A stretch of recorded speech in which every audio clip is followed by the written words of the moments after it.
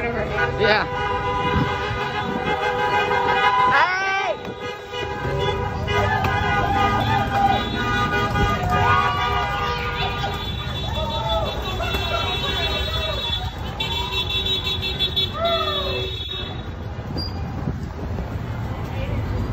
The next day.